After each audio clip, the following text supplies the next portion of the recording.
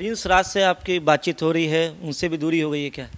Prince से मेरी हाल फ़िलहाल में अब कोई बातचीत नहीं हुई बट हाँ दुख है मुझे इस बात का जिस तरीके से मेरे अपने भाई ने ही आ, मुझे धोखा दिया। उम्मीद थी कि हम दोनों लंबे समय हम दोनों साथ चलते जैसे पापा अपने भाइयों के साथ चले। मेरा विश्वास भी मेरे भाई पे अटूट था अंधविश्वास था कि मेरा भाई हर आ, मुश्किल आ, हर सुख दुख में मेरा साथ देगा जैसे पापा के भाइयों ने उनका साथ दिया। पर जिस तरीके से प्रिंस ने मुझे धोखा देने का काम किया। इतनी सी उम्र में पार्टी के साथ गद्दारी करने का काम किया ये गलत था। प्रिंस के लिए आपने काफ़ी मेहनत भी किया प्रिंस के लिए एक तरीके से आप गार्जियन के रूप में रहे। आप उनके चुनाव में भी काफ़ी मेहनत किए हैं। बिल्कुल मुझे मेरे क्षेत्र के लोग कई बार मज़ाक में इस बात को कहते थे कि भैया, आपने तो जमुई से ज़्यादा समय आपने समस्तीपुर में दिया। और यकीनन ये बात सही भी है, क्योंकि समस्तीपुर का जब चुनाव हुआ, वो बायपोल्स थे और बिहार में सिर्फ़ एक ही लोकसभा सीट पर उस वक्त चुनाव हो रहा था और मेरा पूरा ध्यान केंद्रित ज़रूर था। प्रिंस पहली बार चुनाव लड़ रहे थे लोकसभा का, इससे पहले वो विधानसभा का चुनाव लड़े थे जो वो हार चुके थे।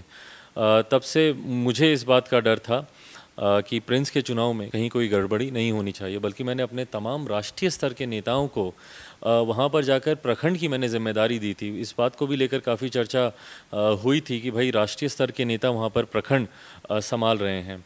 क्योंकि मैं नहीं चाहता था कि गलती से भी कोई चूक हो। प्रिंस के हर प्रखंड में कार्यालय खुले, उसकी पर्चियाँ बनाना, बांटना, हर ज़िम्मेदारी पूरी तरीके से मैंने अपने कंधों पर उठा रखी थी।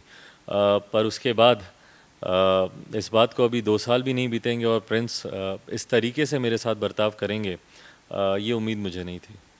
सर ये बताइए कि क्या लगता है कि अब चाचा वापस रिश्ते बन पाएँगे इस जो रिश्तों में दूरियाँ आई वो रिश्ते फिर से हो पाएँगे? देखिए रिश्ते मुझे लगता है कांच की तरह होते हैं एक बार टूटते हैं तो जल्दी उसका जुड़ना मुश्किल होता है। कहीं ना कहीं वो दरार वो गांठ ज़रूर रहती है।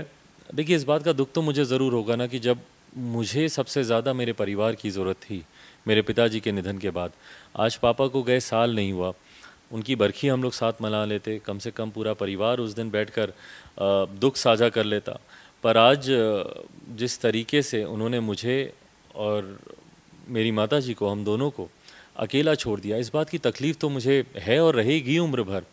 मम्मी ने पूरा जीवन अपना इस परिवार के लिए, इस परिवार को संजो कर रखने के लिए उन्होंने दिया। आज पापा के निधन के बाद जब सबसे ज़्यादा ज़रूरत मम्मी को अपने देवरों की, अपनी देवरानियों की, अपने भतीजों की, उनकी थी तो आज वो परिवार उनके साथ नहीं है। तो इस बात का दुख ज़रूर होता है। भविष्य में कैसी परिस्थिति रहेगी? उसके बारे में मैं कुछ नहीं कह सकता बट हाँ राजनीतिक स्तर पर कुछ निर्णय लिए गए हैं जिसमें परिवार के भी सदस्य मौजूद हैं। उसको अंडू करने की या उसको बदलने की अब ज़िम्मेदारी या जवाबदेही पूरी तरीके से अब पार्टी की राष्ट्रीय कार्यकारिणी पर ही है। उसमें मेरा हस्तक्षेप करना अब संभव नहीं हो पाएगा। अब एक सवाल ये उठता है जो आपके सांसदों ने बगावत किया आपके खिलाफ। ये राजनीतिक गलियारों में इस बात की चर्चा है कि नीतीश कुमार की तरफ़ से उन्हें प्रलोभन दिया गया है कोई। क्या कहना चाहेंगे? नीतीश कुमार का मतलब पार्टी तोड़ने में एक तरीके से भूमिका है।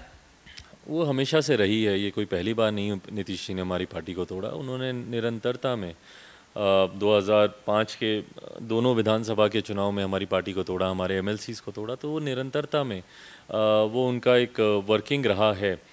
बट वही मैंने कहा कि अगर मेरे अपने मेरे साथ होते तो गैरों में दब नहीं था कि वो मुझे या मेरी पार्टी को तोड़ पाते। मेरे अपनों ने ही जब मुझे धोखा दिया।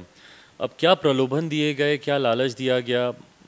उनके ये बयान कि अगर मैं मंत्री बन जाऊँगा तो मैं अध्यक्ष पद से इस्तीफ़ा दे दूँगा तो कहीं ना कहीं दर्शाता है कि व्यक्तिगत महत्वाकांक्षाओं की वजह से ही वो उधर गए हैं लालच ही एक कारण है वो उधर गए हैं नहीं तो इस तरीके का बयान आना आ, का कोई औचित्य नहीं था। बट बहरहाल मुझे नहीं पता क्या बट हाँ मुझे इतना पता है कि मुझे नहीं आ, मेरे पिताजी को धोखा देने का काम इन लोगों ने किया। पापा ने जिन पे विश्वास किया, आज वही लोग उनकी विचारधारा, धारा को रौंद कर उसको कुचल कर उन लोगों के साथ जाकर खड़े हैं जिन्होंने पापा की राजनीतिक कद, उनकी राजनीतिक हैसियत, उनका राजनीतिक वर्चस्व को समाप्त करने में कोई कसर नहीं छोड़ी।